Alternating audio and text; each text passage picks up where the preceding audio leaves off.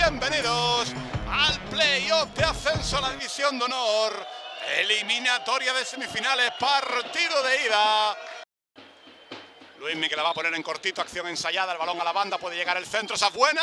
No, el disparo directo a portería de Félix Sánchez. Se pega ya la banda, le va a doblar por ahí a Adriguar, sale por dentro Carlos Vizcaíno, la mete buscando a Matu, el control de Matu, Matu la deja para Luismi, Luismi para Feli, Feli, Feli, Feli, Feli. Tiro de Feli fuera. Vamos con el córner. Ahí va el lanzamiento, cuidado, perfil cerrado, es bueno, bueno, chu.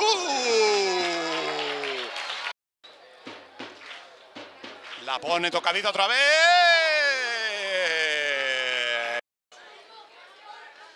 Franillo. La pone Franillo en la frontal. La toca Joel. Cuidado, cuidado, cuidado, cuidado, cuidado, cuidado. Gol.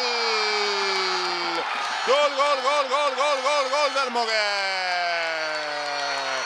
Gol del Club Deportivo Moguer.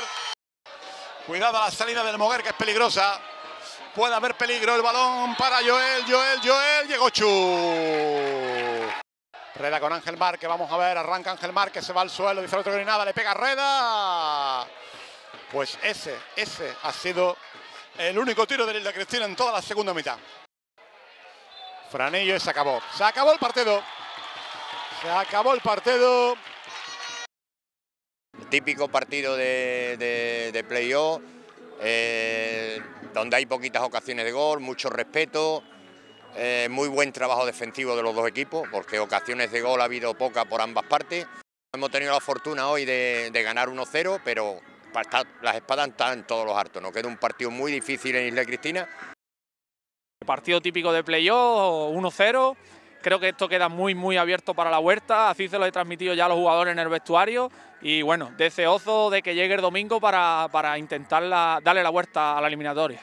Esperar que en Isla haya un ambiente bonito, que se viva fútbol y a partir de ahí que podamos remontar y se cree un ambiente de remontada que, que haga que, que nos podamos llevar la eliminatoria.